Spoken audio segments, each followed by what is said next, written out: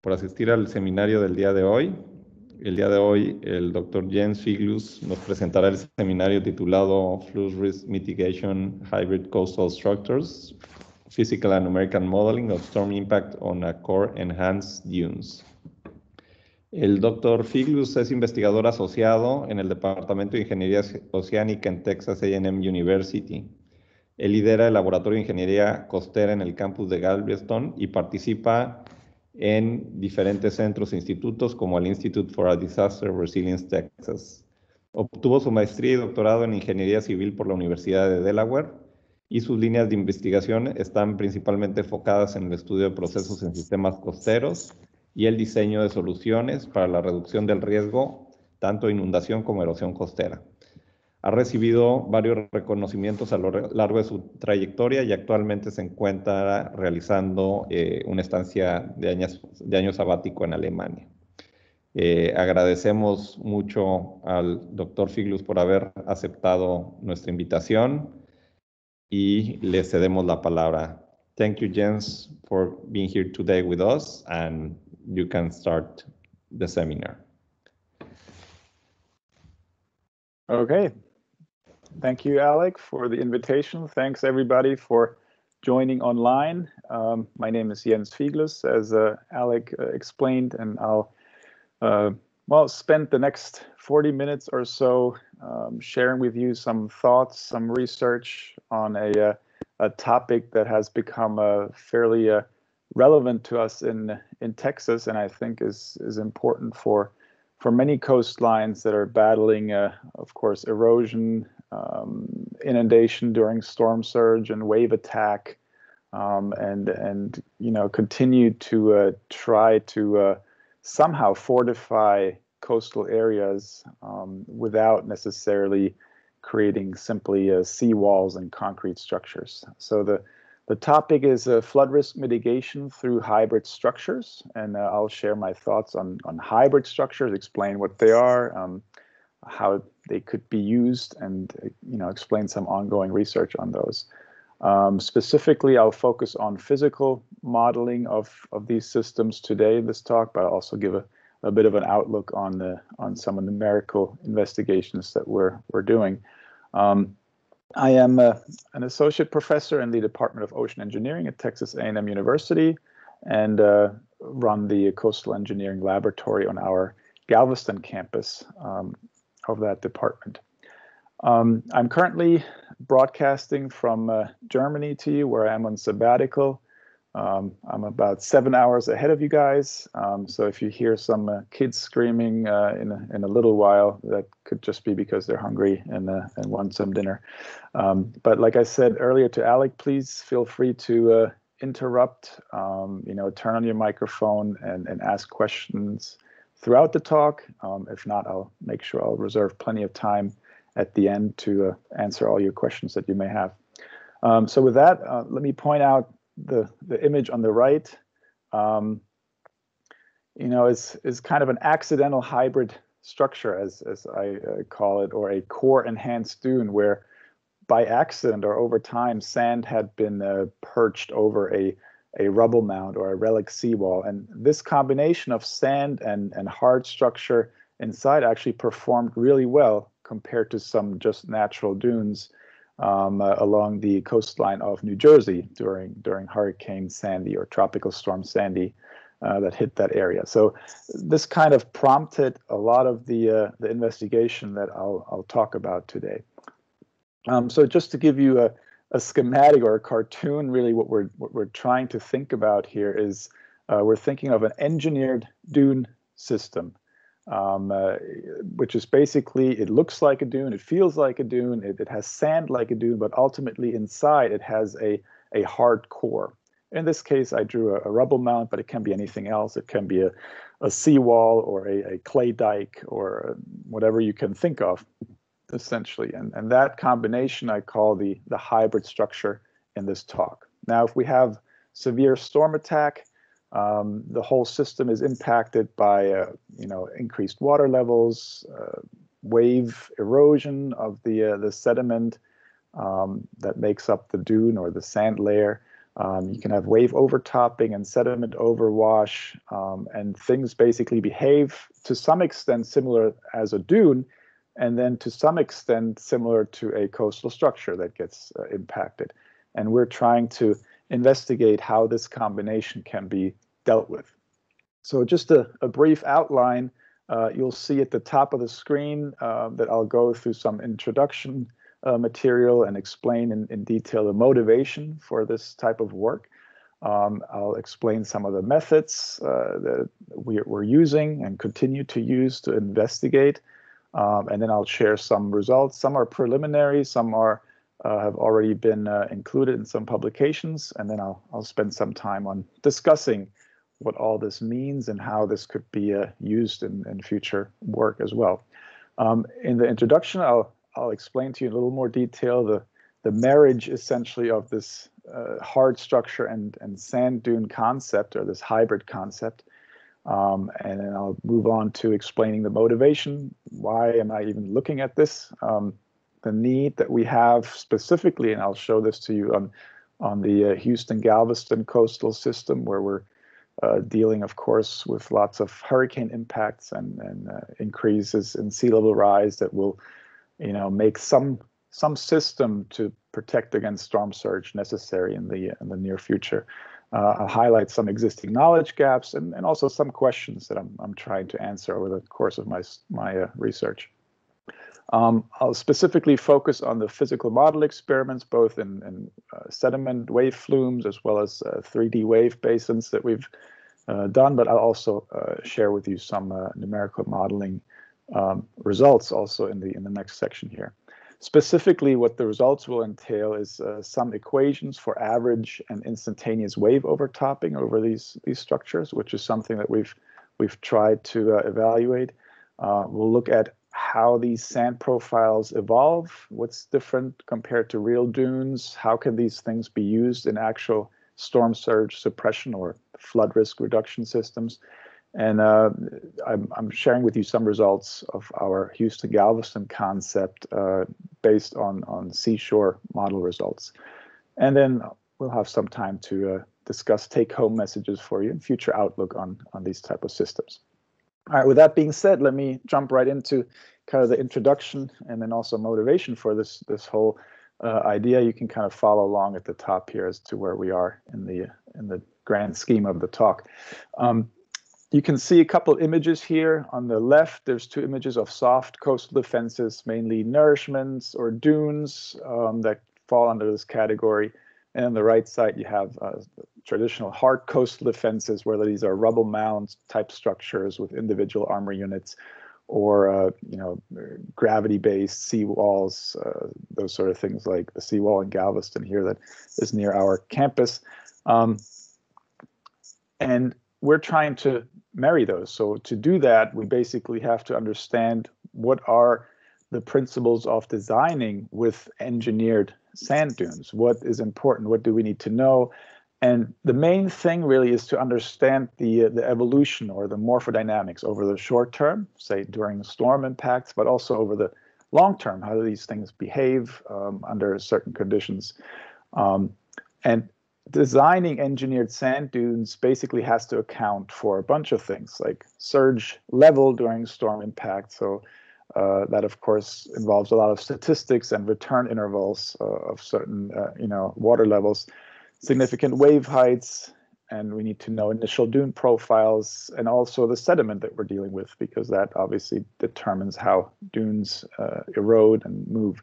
Um, duration of storms becomes important because we need to know how long can a, a engineered dune basically withstand uh, storm impact.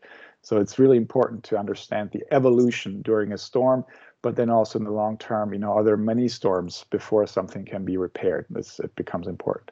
Often, you know, physical model experiments, process-based numerical models are, are used to evaluate dune evolution and then also ultimately design the proper systems. Now let's jump to the other side, the, the structural, the coastal structures that we want to incorporate into our dune systems. Um, one of the critical elements that usually is designed for is wave overtopping discharge. So how much water during a, uh, design event actually goes over the structure and then ultimately floods the backside or erodes the backside of the, the structure um, or creates damage or, or, flooding on the backside. Um, and that's very closely tied, obviously, to the forcing conditions from waves and water levels and such, but also the crest level of the structure that the waves have to run up uh, over and then produce a, a flow rate over the, the crest of the, um, the elevated crest. Um, if you are familiar with structural or coastal structure design, there's plenty of formulations to get to an overtopping value or design rate. Uh, the example on the left is kind of uh, the classic uh, example of a non-dimensional wave overtopping formula. Um, something like this is also in, included in, in a bunch of publications, um, and, and usually it looks like the graph that I show on the right, where you have some functional relationship between a relative freeboard, so the distance between the uh, water level during design and the elevation of the crest, and that includes also some wave height and other parameters that are related to the um, either geometry of the structure or the uh, the uh, uh, type of, of wave forcing that you uh, that you can have. And the curves lo usually look like this. They get you know come closer together to kind of an expected value as the relative freeboard reduces, meaning once there's more overtopping and more critical flow over the structure. Um, the other way this is usually done is through basically neural network type analysis, where examples from the field and from uh, laboratory studies are basically packaged into a, essentially lookup tables. So if you have a, to design something with a similar situation, you can basically say, oh, we're we're kind of in the range of what this structure did during a wave impact, and then we can deduce an overtopping rate, for example. So uh, just as a as a brief background, I don't want to go too much into the details of of stru coastal structure overtopping because that can fill the whole lecture, but I just wanted to kind of show you what kind of approaches we're trying to marry together here. Now, as to the motivation for these hybrid structures and even looking at something like this, um, we're always in need for innovative solution for coastal flood risk reduction. Um, and we know uh, from many publications and, and uh, that you know people like to live along the coast. People uh, will just flock to the coastal cities if they can. There's economies there. There's the beauty of nature there, uh, obviously. So there's a lot of factors that um, that drive people to the coast. And then we have sea level rise issues and the constant threat of storms, you know, wiping out homes and, and livelihoods, industries, um, you name it. And this is just an example here on the right of sea level rise curves, different predictions, and so on and so forth. Um, on the bottom left, um, I'm kind of giving you a, a, quick outlook of what it is like in uh, uh, on the other side of the Gulf. Um, my campus is right here on the island behind Galveston Island. Houston is up to the left, top left corner. Here, this whole body of water is Galveston Bay. Um, and this dotted white line and the solid white line are basically um, an over 100 kilometer stretch of coastal protection system that is currently being envisioned and designed and created uh, for this this whole area to protect Galveston, Bolivar Peninsula, the Galveston Bay, and of course all the heavy industry along the Galveston Bay and the city of Houston.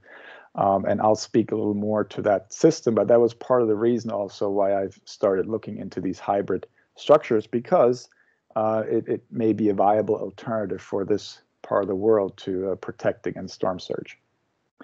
Why? Um, well, you know, Hurricane Ike happened um, in uh, 2008, and these are just some images from devastation left behind from that hurricane. is widely published uh, and basically uh, an eye opener for many people in in our area, in and around Houston, that something needs to be done to prevent such catastrophic failures and losses uh, in the future. You can see Galveston Island burning houses, flooding. You can see oil leaks uh, everywhere. You can see all sorts of devastation here. On the right, you can see, uh, you know, a, uh, title slide, if you will, from a, a, a collaboration between TU Delft and Texas A&M University, where we try to conceptualize what kind of system could help prevent such devastating effects in the in the future. And it's we call the coastal spine or Ike Dike, based on the hurricane name, and it would include a whole bunch of components. All the red components, which are the longest stretch, would be some sort of dune or hybrid dune or coastal structure system um, that would basically provide enough elevation that storm surge cannot enter Galveston Bay and cause internal setup and damage a whole lot of, uh, you know, livelihoods in, in the process. And then the black component here is the seawall in Galveston that already exists, and the blue component are structural gates essentially through the ship channel to block them that off as a storm approaches. So what I'm going to talk about, the hybrid or core enhanced dune systems are basically an option for all the red components of this project. So you can kind of see the huge extent of, of what would be uh, needed here.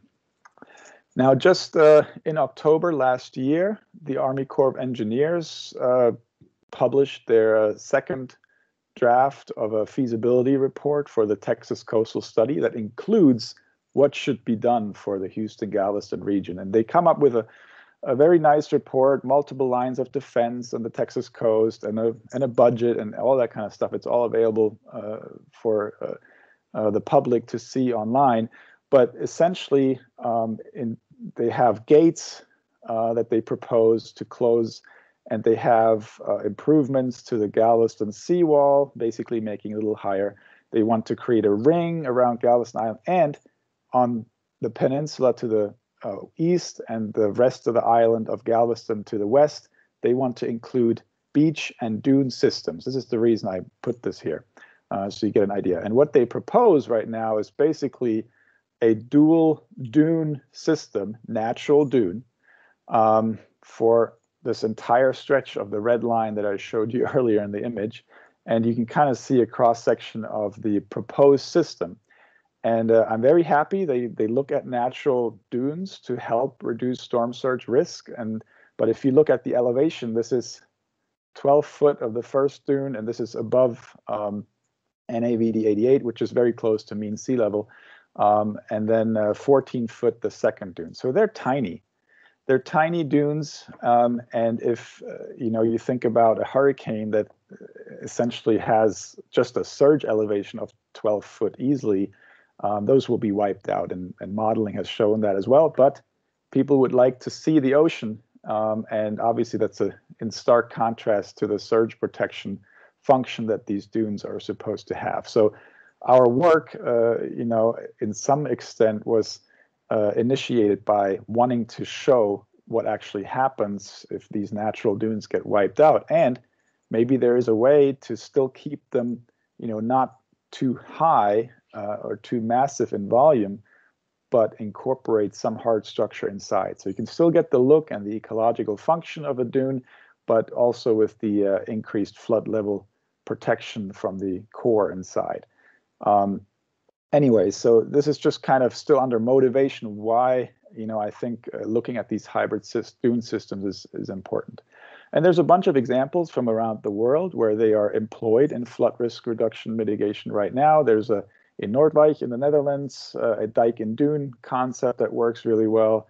In Katwijk, just up the coast in the Netherlands, the same thing. They have a dike underneath a dune system. Here you can see on the right when it was constructed. They even put a parking garage in it as a multifunctional use concept. So uh, it and it, it works uh, fairly well and provides aesthetics as well as flood protection essentially. Uh, but there's other examples. You remember the uh, the top left picture from uh, the rock wall in in New Jersey from my title slide, and then around the U.S. or other places there are hybrid dune constructions underway or already implemented. Uh, here's one in Hawaii protecting infrastructure, and there's one at the bottom, uh, core enhanced dune in Virginia where they're protecting an army installation with it, and then uh, another dike and dune construction in in the Netherlands as well. So there is, of course, some data and numerical investigations um, out there that if you're interested in, in these type of hybrid structures. A, a review paper by uh, uh one of my students, uh, Badria Almarshed, uh, actually came out last year that kind of highlights these. Um, there's physical model studies of dune and beach evolutions in the presence of hard structures. There's numerical model studies to assess the effectiveness of hybrid structures. And there's a couple of physical model studies of wave overtopping and overwash of hybrid structures, which is kind of what we're trying to get at with, with this uh, information here that I'm trying to share with you. But there's still a lot of knowledge gaps that need to be uh, addressed. So for example, the effects of different hydrodynamic conditions on the evolution of a hybrid structure. It's not a static system anymore. It's not a wall with with known you know uh, overtopping levels, but it's something that evolves over time as a storm progresses. So that needs to be somehow included in the uh, design guidelines that we, we still lack. So that's the bottom point right here. Um, and specifically the, the impact of that sand cover or the sand component of the system on the performance of the hard structure is not known. I mean, right now, if you were to design something like this, you would simply say, okay, what if the sand is gone completely? How does the structure perform then? But then you would be uh, selling yourself short and probably creating a much too expensive system because the sand does do some work as well. Um, a couple of research objectives, and there's many more. I just wanted to pick out a few so you get a sense for what we're shooting for here. We want to estimate the morphological evolution of a hybrid coastal structure with different sand layer thicknesses and different core systems. So different combinations of sand and hard structure inside. Remember, when you usually build a, a hard structure like a rubble mound, it's the reverse. You have the, the, the larger you know, size armor units on the outside and the finer on the inside. So now we're basically in a way reversing that uh, to have the dune material outside and the hard material inside. Um, we're interested in evaluating wave overtopping over these structures with the inclusion of the evolution of the dune part, essentially. And then ultimately with this, uh, one of the research threads here establishing functional relationship between the average and instantaneous overtopping rates and also the geometrical parameters of interest. Um, so we can come up with a formula just like with for uh, regular structures, but include the changing sand layer, which would already help at, at first type of designs of these these these things. Um, and ultimately, we also would like to improve the numerical modeling approaches to simulate these hybrid coastal structure evolutions. A lot of dune models can already do a portion of this, especially if the hard structure um, is is a, uh, a flat impermeable surface. But if you have a rubble mound, it gets a lot trickier because you have to deal with the voids and sand being in the voids or water being in the voids and things eroding and, and friction, of course, changing as you erode the sand. So it becomes a little trickier numerically as well. All right, uh, in terms of methods of how we try to get a first sense of how these hybrids work, uh, I, want to share a few slides with you on, on 2D wave flume physical model tests that we've conducted at, at our uh, sediment flume in, in Galveston. It's a small, you know, wave flume, uh, just about um, 15 meters in length. So, so we're, we can at maximum do a 1 to 20 scale uh, testing of systems, but it has a lot of sand in it, and we can put any kind of structure in it. So you can see a setup here uh, with a rubble mound, um, uh, waves, of course, wave paddle, some wave gauges, and, and other uh, instruments to measure, you know, flow properties, um, and then also instrumentation to measure overtopping, overwash, and so on and so forth. So we can actually address um, what happens during these tests.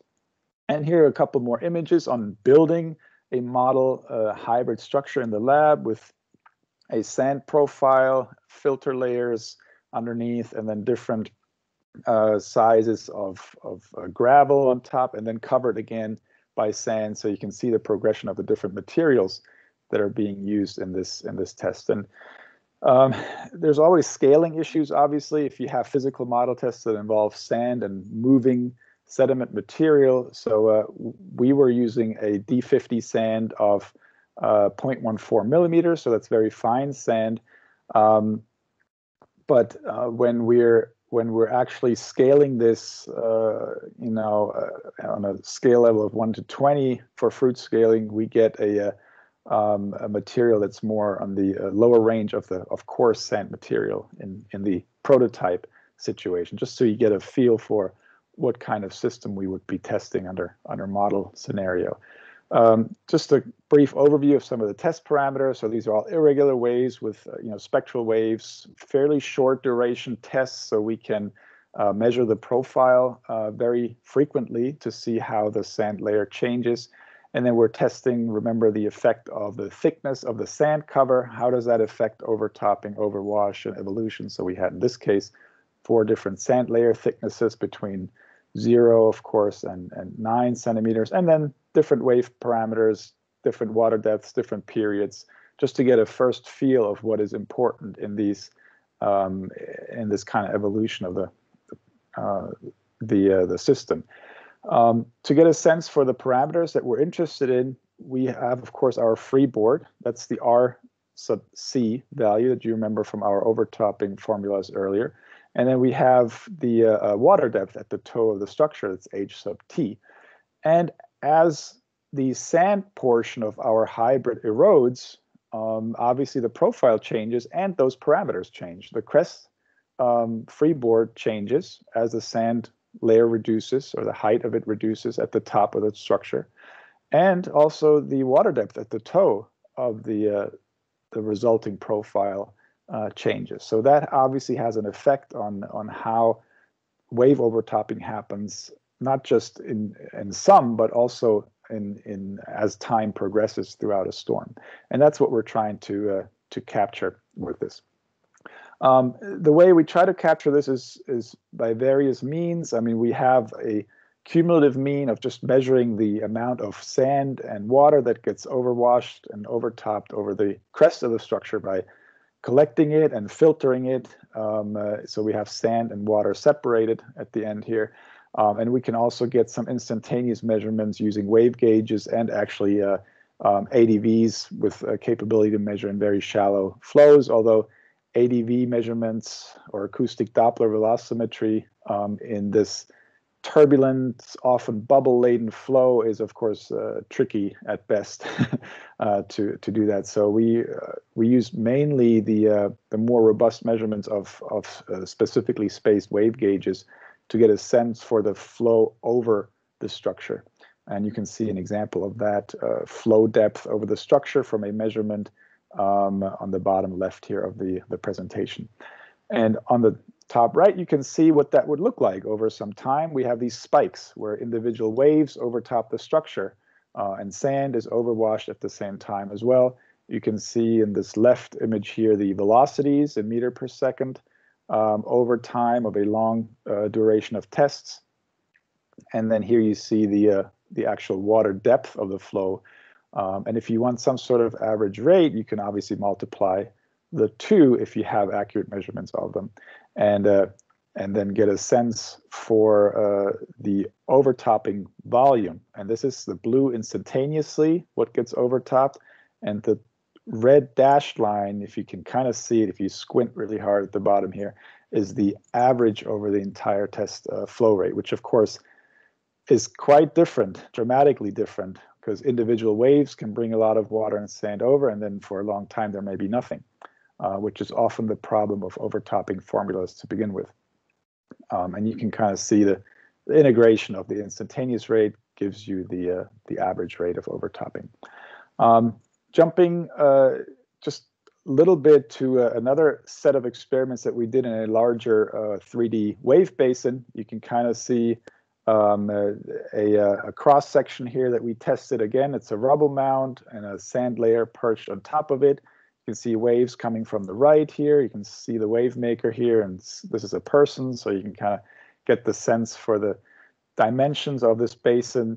Um, and you can see after running some tests, you know, what this looked like. And here we're really mainly interested in seeing what oblique wave attack uh, of irregular waves would do um, for the evolution of the sand cover um, and overtopping under collision and overwash regimes of, of dunes. And in this case, the scaling is, is 1 to 10. Um, and we're looking at, in this case that you see here, a 17 and a half centimeter sand cover thickness as, as an example. And you can see some of the uh, setups in the next couple of images so you get a feel for the type of model testing that we're done. This is uh, one of my grad students, Altaf Taki, building the the uh, rubble mounds. Of course, very labor intensive.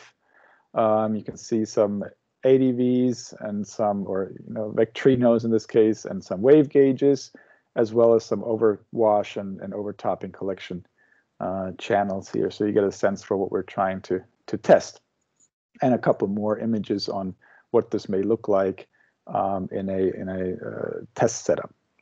Now there's a lot of uh, cubic yardage of rock material that was used for armor and filter layers, and then also uh, uh almost 60 tons of sand that were used in this setup and experiment. And just a few results from this experiment before I jump back to our uh, you know experiment in the, the small flume.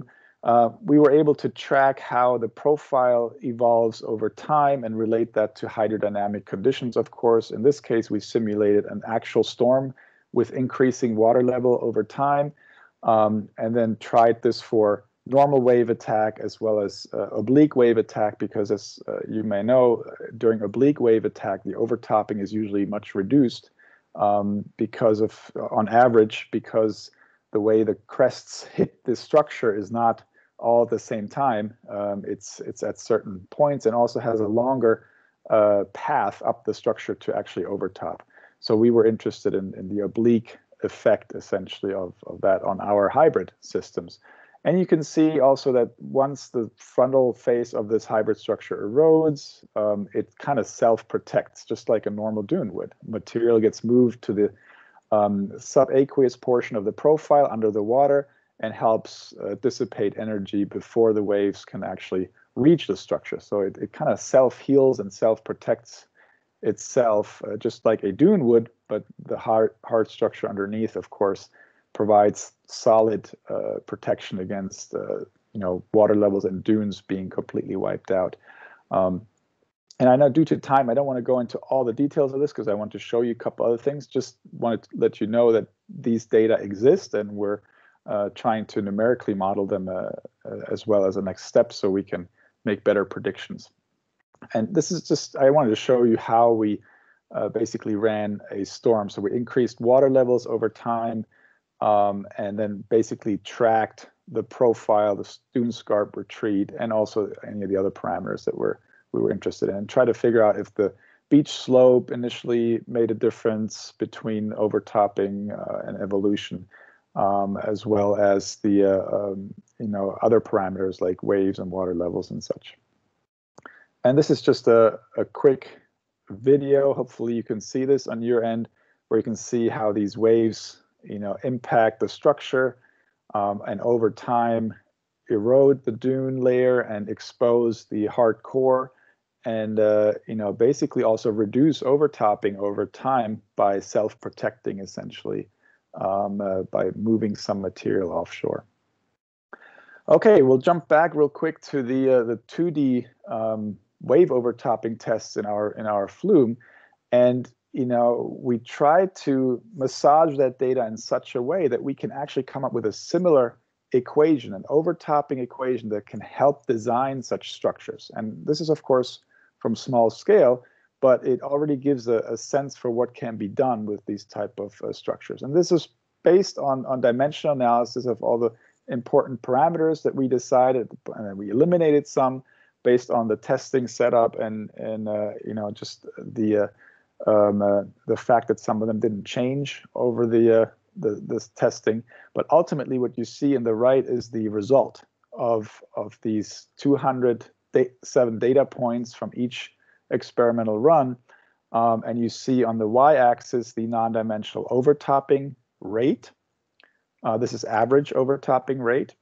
And on the x-axis, you can see a, a non-dimensional um, number that essentially includes the crest height, the freeboard, and the water depth, those parameters that I um, uh, you know, showed you uh, in the initial um, uh, schematic of, of these type of tests and uh, they're scaled basically by a, a, spectral uh, significant wave height squared to make it non-dimensional. And you can see lots of scatter, obviously, at the uh, um, higher range of this parameter, which means if you have a large freeboard or a large water depth, but small wave heights relatively, And that makes sense because then you only may have a few individual waves actually making it over the crest. This is also not critical for the design necessarily, but you can see that statistically that spreads quite a bit. And that's the same for regular structures as well, although not as, as badly as here. But then as you get to lower freeboards and, and elevations of water depth in front of the, uh, the toe, you can see they kind of uh, shrink together um, a little bit more, although keep in mind this is still log scale. But we were able to then uh, come up with a, a design curve, if you will, and this is equation three down here, that looks a lot like the uh, the Van der Meer um, overtopping equation, including the changing uh, sediment um, cover over these uh, hard structures. And then if you fit the parameters to it, you can get an actual quantitative assessment of average overtopping of such a structure.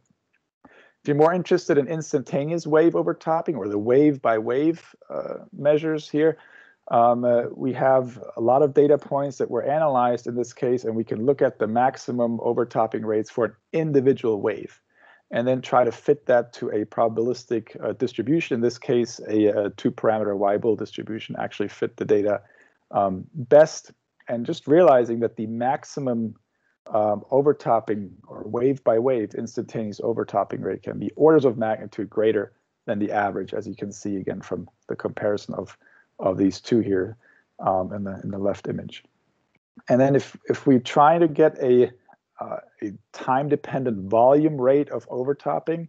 Uh, you can kind of see over time as the cumulative volume creeps up, you know, cubic meters uh, per meter of, of uh, length of the structure.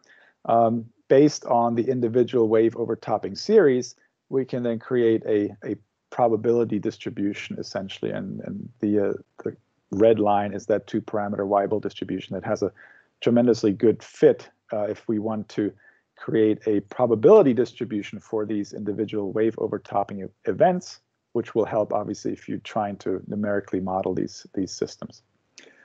Okay, um, I want to be mindful of the time, so I'm, I'm going to shift gears just one more time here um, and show you just a few results from our CSHORE uh, models based on this Houston-Galveston land barrier concept that I introduced earlier. So remember, the, the Army Corps of Engineers came up with this dual dune design. Um, uh, this is actually uh, what they came up with, a 12 foot high dune first and then a 14 foot high dune uh, next. And I'm giving you the metric units here as well. Um, and we're modeling a cross-shore profile um, of this with our CSHORE model. It's a cross-shore process-based hydrodynamic and morphodynamic model.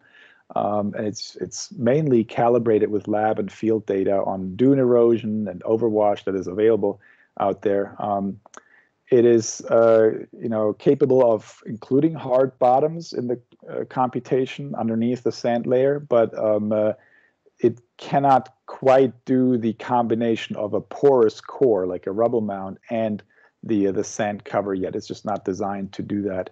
Um, and at the bottom here, you see a, a, a water level curve um, for, in this case, Hurricane Ike, um, where water levels, and this is right near the, the shoreline, increased, you know, from around zero to, uh, you know, uh, over three meters, um, essentially, uh, during Hurricane Ike.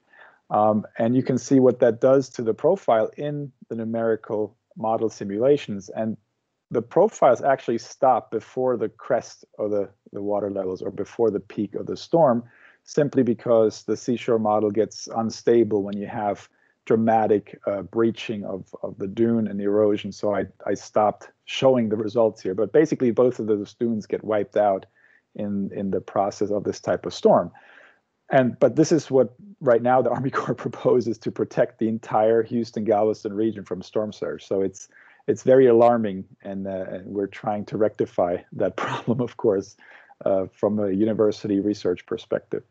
Um, here are just a few more uh, simulations, and we're running many of these uh, as we speak, actually, to try and investigate what can we do better. Can we use hybrid structures to do this? The problem is we don't have a lot of sand.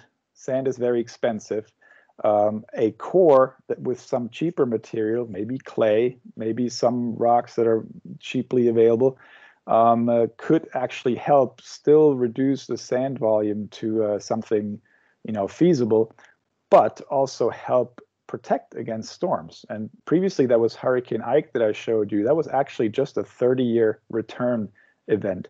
These are now uh, resulting cross-shore profile evolution plots from a 100-year proxy storm plus sea level rise, and we modified the dunes. We made them higher, we included different core structures, um, uh, we made them wider, and like I said, I'm just trying to show you a, a bit the tip of the iceberg of what can be done uh, with these type of systems, and now it actually manages to withstand the entire 100-year uh, proxy storm with sea level rise um, at a certain level Heavy erosion, of course. Here you have a core structure. This is the dashed yellow line in the front dune. On the right side, you have a core structure on the back dune. There's benefits and you know drawbacks to both of these configurations, uh, but ultimately that's what we're trying to find out. How can we best protect the area and still kind of maintain that you know proposed dual dune design and the ecological value of having dunes out there, but still provide flood protection at the same time. And that's what basically what I meant uh, with this idea down here that the optimal system obviously does enough flood risk reduction, but also is mindful of the viewshed and sand volume constraints that we have in, uh, in our area. All right, just very briefly at the end here, since I'm at 40 minutes, um, just to sum up some of the results um, of the, the 2D wave flume work that I mentioned earlier. Um, of course, the wave overtopping rate decreases as the crest increases or the water depth decreases. That was seen by our formula that we came up with. Um, wave overtopping rates increase, of course, as wave height go up or period goes up. That is also similar to normal overtopping uh, on hard coastal structures.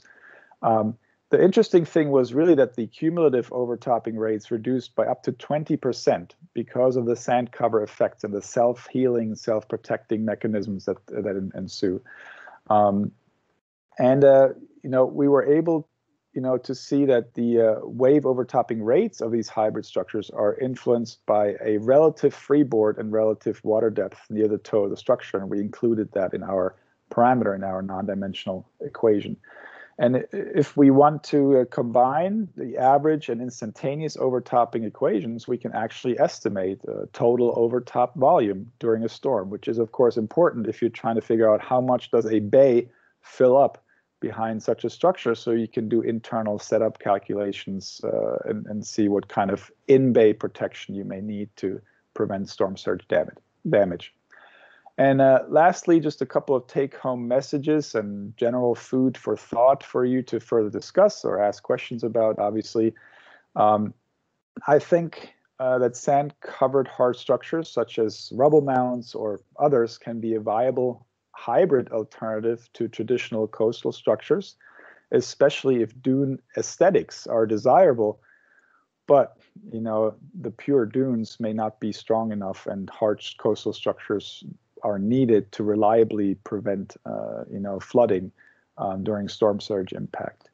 Um, also, I haven't mentioned this explicitly, but these hybrid systems align really well with uh, engineering with nature concepts that the Army Corps of Engineers is, is pushing more and more in the US and provide a certain level of flexibility that a pure hard structure does not have because you can change the thickness of sand layer much easier than, than anything else. But of course, all this needs testing at larger scales and better numerical treatment of the whole system. Um, there are sand cover evolution effects on overtopping rates during storm impact, and these are important. Uh, initially, actually, the overtopping, I don't know if you saw this, and I, I may not have mentioned it explicitly, but the overtopping very briefly increases because of the sand uh, layer um, basically providing almost like a ramp uh, for the water to run up and overtop the structure. Um, but ultimately reduces dramatically uh, as the sand layer erodes and, and uh, provides uh, protection by um, tripping wave energy essentially further away from the structure. Um, the thing is, though, these initial increases are not going to happen in the prototype in reality because storms slowly uh, even if it's over a couple hours, increase in water level and, and wave energy. So at that point, before overtopping even happens, the profile adjustment would have already, you know, commenced that self-healing effect. Uh, and something that is of importance for all coastal structures is a toe scour. You always have to protect against that. The effect of having sand actually on top of the structure will actually, uh, you know, be beneficial for toe scour because you always have enough uh, volume available to uh, prevent significant toe scour. At least that's what we saw from our numerical and, and physical model uh, testing. All right, what's next? Um, we're investigating in detail the fundamental interaction processes between the sand dune and the coarse rock matrix. So if you have a rubble mound, what happens in the voids of those rocks and how is energy dissipated? How is the profile changing? This is actually a dissertation topic by one of my students right now. Um, and we're trying to continue to test at larger scales also and with different materials. Um, full-scale prototypes are actually being uh, discussed and developed right now along the Galveston coastline because that would be a, an integral component of the Houston-Galveston storm surge or Ike Dike structure. Um, and we're continue to try, uh, you know, improve those functional design criteria and formulas, whether they're through empirical formulations or numerical treatment, or you know, more uh, machine learning type applications. Um, and then ultimately, improving numerical modeling of hybrid systems with rubble mound cores is another branch of the research aspects that are uh, currently happening. With volume of fluid, you know, detailed models as well as process-based, kind of simple or more empirical more, um, models. And then last but not least, it's all about cost savings, maintenance of these structures, and how do we deal with storm sequences? You know, if dunes get wiped out and not rebuilt, maybe hybrids can be the solution that still have some uh, leftover resiliency against uh, sequences of storms that may be more important in the future. All right, I'm at 45 minutes on my count here. So uh, thank you so much for giving me the opportunity to share some of this research with you guys. I'd like to thank uh, you know, Alec for inviting me and all of you for attending. Um, also, some thanks go out obviously to the people that help with the various projects here that were included and the funding agencies, of course, that have made this possible. And uh, with that, I'd like to thank you and uh, I'm uh, opening the floor for any questions. I'll uh, get out of the presentation mode here so I can see if there's any comments. All right, thank you very much. Thank you, Jens, for such an interesting talk. Uh, I see one hand rise, uh, Roger. I don't know if you have a question.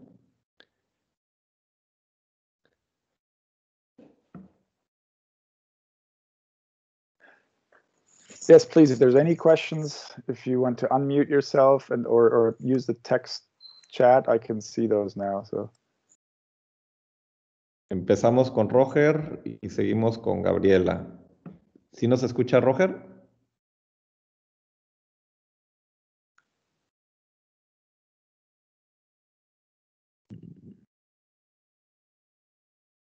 En lo que en lo que Roger resuelve su problema técnico. Si quieres empezar, Gabriela, con tu pregunta. Hey, hello, uh, can you hear me? Yes, I can hear and see you. How are you? Okay, thanks a lot for your presentation, James. It was very interesting. I was just curious if uh, is it possible to add some of this dune vegetation to this uh, final hybrid uh, structure? Um, would it uh, help to reduce the sediment loss during these overwash events? And have you done any experiment, uh, either physical or numerical, to consider these uh, effects? Yes, absolutely. Thanks for the question. And then uh, just briefly, if I understand correctly, you're asking about dune vegetation, correct? Yeah. On, on, yeah. So um, we're kind of still at the initial stages of, of trying to investigate the, the interaction simply of the sediment with the uh, the hard core. So I haven't done any tests yet with vegetation. I have done vegetated dune physical model tests as well as some numerical tests um, where we clearly show that the vegetation has an effect and and you know usually dunes are being vegetated engineered dunes as part of the uh, requirements for projects um, specifically for the uh, the Houston Galveston, the, the long, you know, uh, storm surge suppression system that will include some form of dunes. um, the specs already include that they have to be vegetated with uh, native dune species that you know with their roots will will you know help you know not just against the erosion but also help trap uh, sediment and continue to grow or maintain the dunes uh, you know rather than having them bare uh, sand dunes because they tend to disappear much quicker um, i I'm certainly in the future, I can see tests where we add vegetation, just like we've done before, um, to our dunes with the cores. And it's basically a, a portion of the uh, design also because the, uh, the vegetation needs a certain depth of sand to be viable, right? So uh, it becomes a criteria in how thick the sand layer should be. Um, there's other criteria. Um, I'm sure you're probably dealing with similar issues on the, the Yucatan side of the Gulf, uh, for example, turtle nesting and, and that sort of stuff. Um, uh, you cannot build anything if it if it prevents turtles from uh, nesting on the beach in, in Texas. And so uh, this was actually another uh, reason why uh, we think these hybrid systems that can save space because we don't have much space on the coast in, in Texas um, everywhere else, we have plenty of space, but not on the coast. And and so they, you know, still providing the ecological functionality of the dune, but also the much needed storm surge protection. So, but I know I'm kind of trailing off, but the uh, the question on the vegetation, I think it's going to be important. Um, in other research, I you know we've shown up to uh, you know over 30% increased resistance against erosion. If you think about erosion volume or dune scarp retreat, just by having natural vegetation grow on the sand dune. So I'm, I'm assuming that still remains a similar aspect in, in this type of system. That's an excellent question. Thank you. Uh, any other question from the audience? Please raise your hand or put the question in the chat. in the meantime, uh, I will just, I have a, one question, one, no, two, two, two quick questions.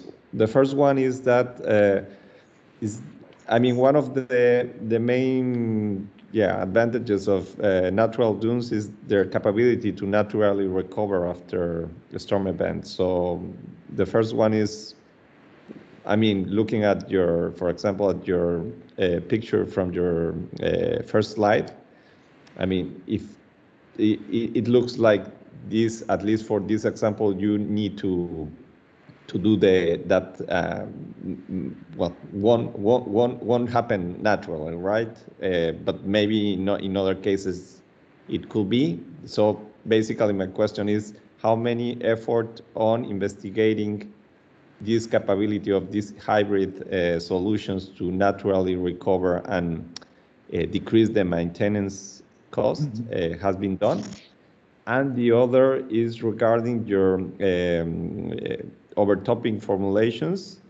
What do you think is the next step in terms of the variables that you have in those equations to, to, to be able to make it not, we, we know that there is no universal overtopping formulation, but at least depending on the on the hybrid uh, structure at each site to to be able to use it without being so specific. So that will be my my two questions. Mm -hmm. All right, thank you, Alec, for the for those two questions. Let me uh, you know try to address the first one in terms of recovery of of dunes and, and hybrids in general. There has specifically on the hybrid part, there hasn't been any research on on this um, that I'm aware of, at least. And as you as you know, it's much easier to uh, whether numerically or physically or in any situation to model something that is very intense with large volume changes and over short duration. so the erosion or the storm impact has been the focus. Um, it's the most dramatic profile change on the coast, and uh, it takes place over just a few hours or maybe days, right? So we can model it with fairly high resolution numerical systems, and we can simulate it in in uh, you know physical models uh, with a reasonable amount of time. Um, the uh, recovery of dunes is a little trickier because it it happens over many many many years, and only if there's no storm in between to uh, you know reverse it again.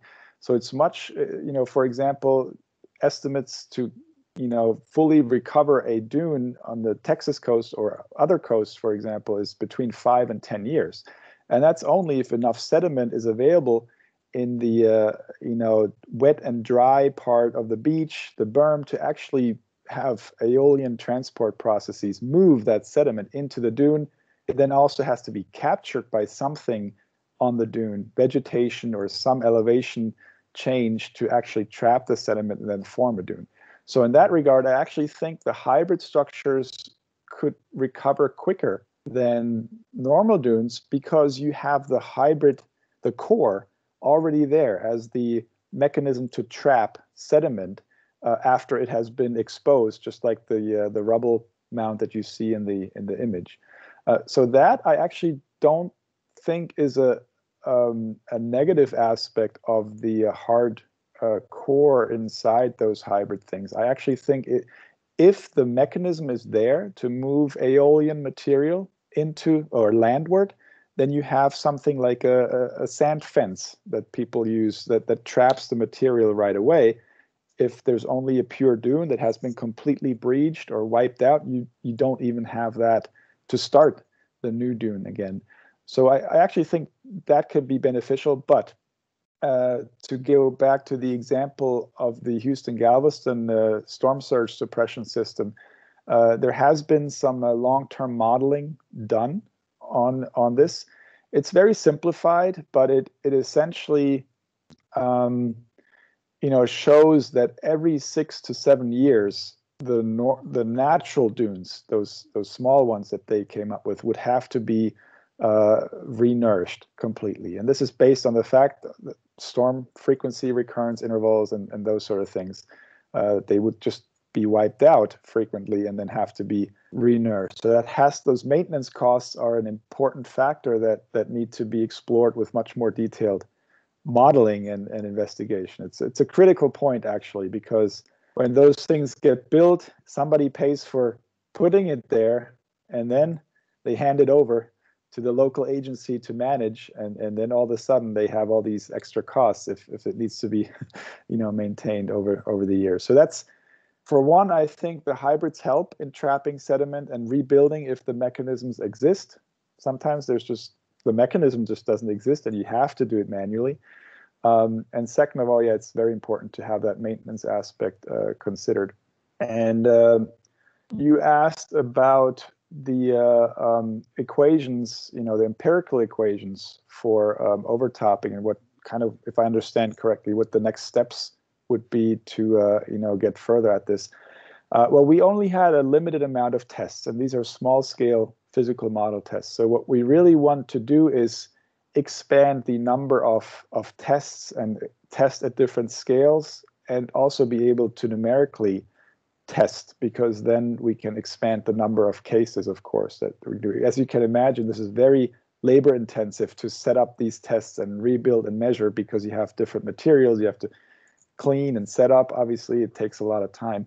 Um, but I think some of the next steps would be to uh, you know test with different wave and water level scenarios. That's the easiest thing to change, but then also to test different cores, and that's actually what we're doing right now, because a a clay dike underneath sand cover behaves much differently than a, a rubble mound underneath a sand cover, and a reinforced concrete T-wall behaves much different than a uh, you know a, a rubble mound. So um, being able to see what range of empirical formula you can actually use, and then ultimately, if the numerical modeling can be you know improved so it can predict the overtopping and overwash and the evolution of the sand layer um, you know in a in a healthy manner uh, then that would be the way to design these things. It's it's not very often that these empirical overtopping formulas are used for final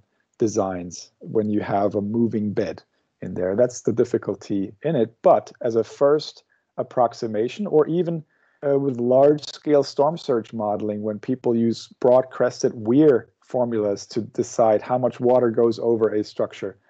This type of empirical equation could be coupled with these large scale, let's say ADCIRC and SWAN type modeling of flooding, and then uh, you could have a more realistic entry of water into a bay system over over such hybrid structures by at least having an empirical equation.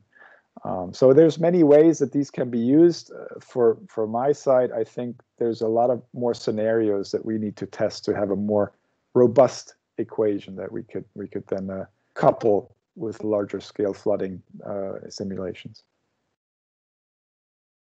Thanks. Any other question from the audience?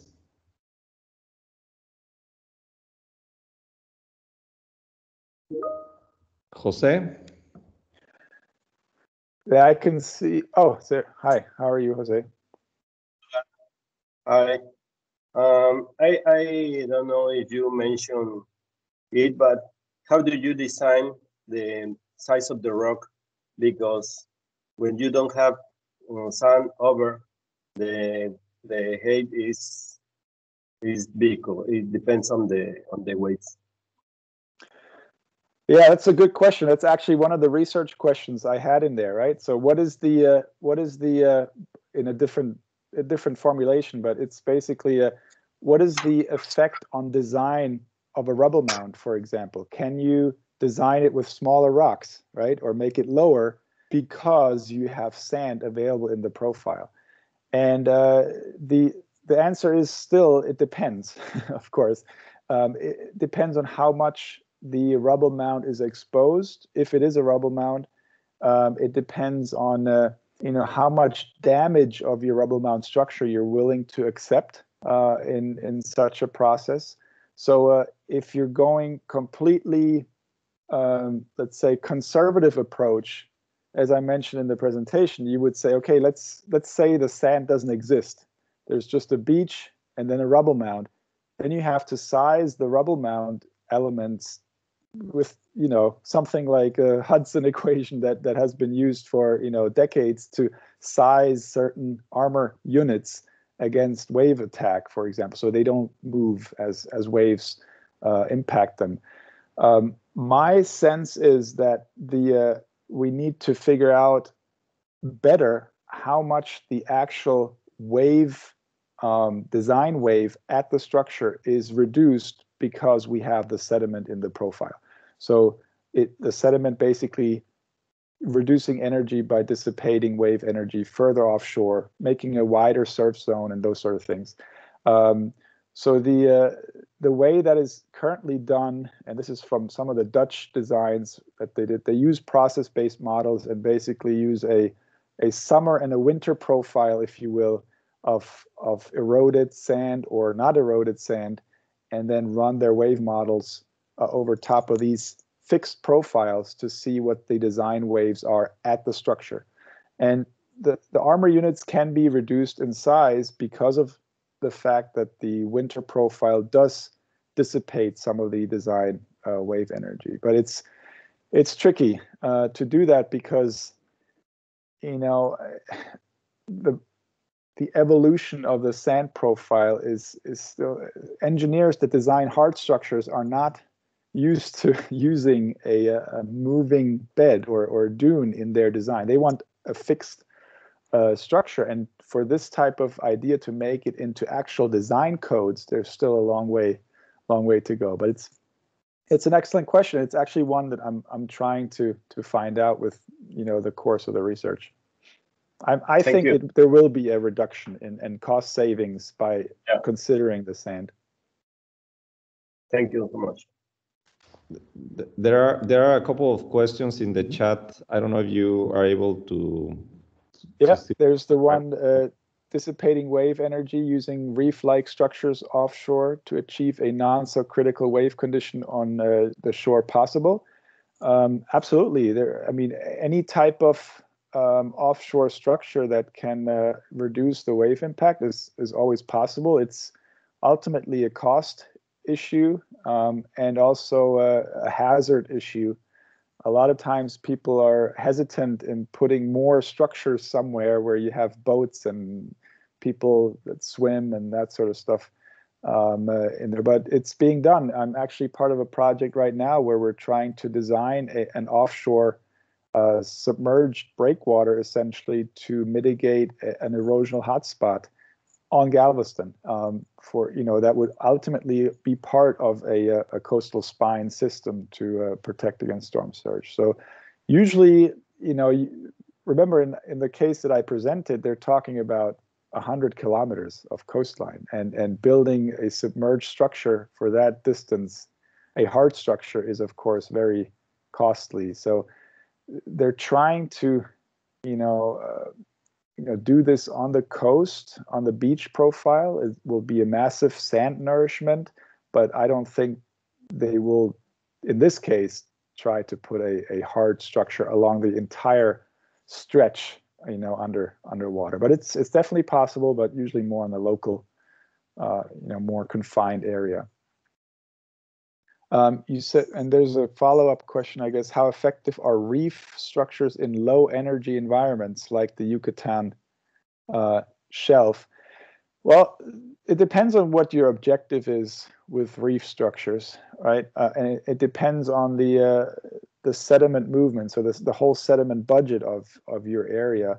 If the idea is to uh, to create, let's say, a, a tombolo or a sill or connection between the reef structure and the beach, or build out the beach, you have to design them in a certain way. If the intent is mainly to reduce wave energy during a big storm event, or I guess you get our cold fronts that move from north to south uh, through the U.S. and over the Gulf, and they become your your uh, El Nortes uh, on your end, um, then it's a different a different objective.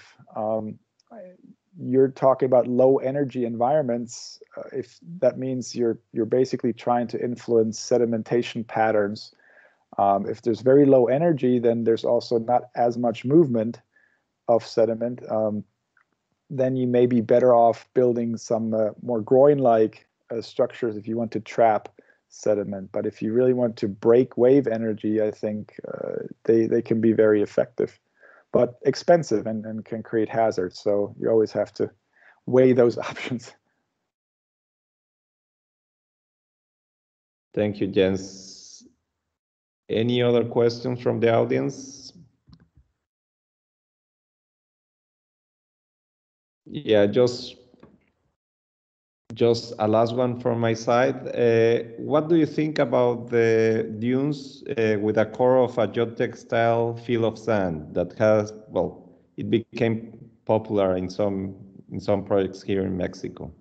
Yeah, that's an excellent question. It's actually one that we've discussed in our project team uh, over the last couple of months and weeks uh, quite intensively um, uh, especially since some of the local residents were asking, you know, Galveston, that is, uh, what about geotextiles? They uh, geotubes have been used in shore protection um, on the Texas coast as well as other places uh, in the U.S. and, and abroad, um, and they they can work, but they also can fail very ugly, and and that has happened quite a few times in Texas. Um, the problem is that if you have the the problem is along the Gulf Coast in many places that the difference between normal conditions and design storm conditions is huge.